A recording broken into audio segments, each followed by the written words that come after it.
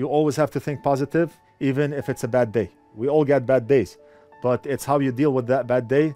And you have to think that tomorrow is going to be better. Maybe tomorrow is not better. After tomorrow is going to be better. You fall, you get back up. You fall, you get back up. And at some point, you're going to be successful because of your attitude.